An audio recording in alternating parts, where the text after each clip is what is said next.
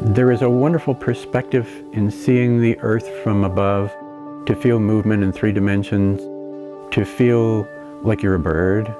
And I feel I'm part of nature. It's wonderful. Though he's been an amateur pilot for decades, Richard Steves became increasingly dissatisfied with traditional small planes.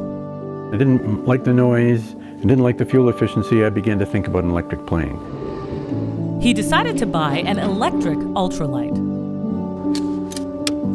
It's probably the most efficient ultralight of all.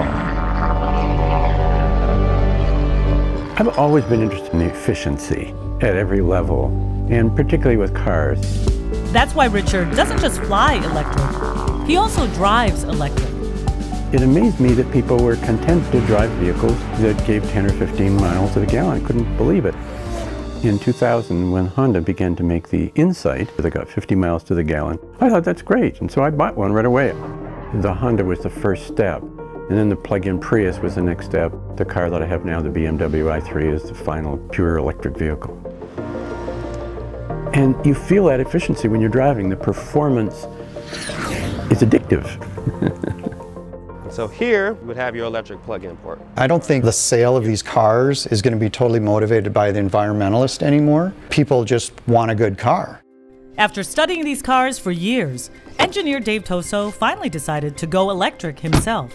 It's fun to drive, it's cheaper to operate, it's quiet, it's more convenient.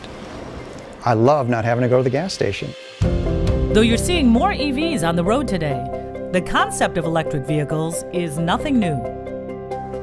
There's actually been like three waves of electric vehicles. The first one was in the early 1900s.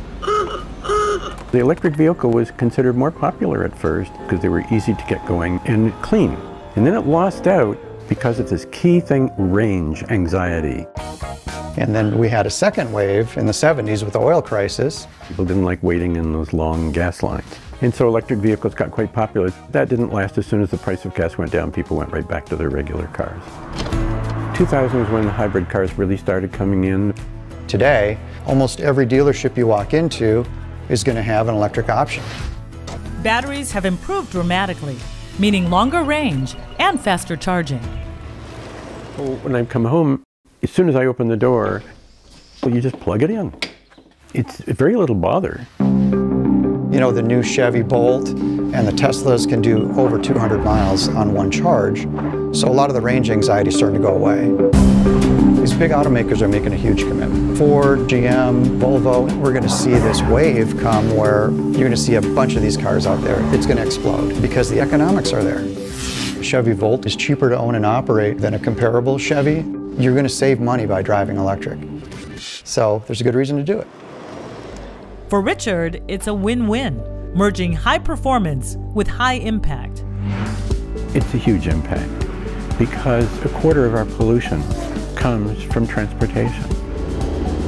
Whether we're environmental or not, I think that we all recognize we need to think long term about what we're doing.